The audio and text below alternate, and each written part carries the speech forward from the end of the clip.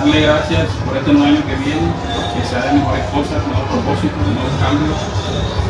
Y espero disfruten la comida con mucho amor. Amén. Amén. Amén.